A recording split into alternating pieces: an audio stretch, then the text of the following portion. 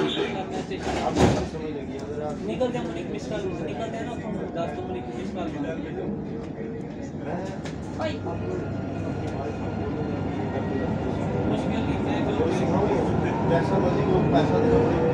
मुझे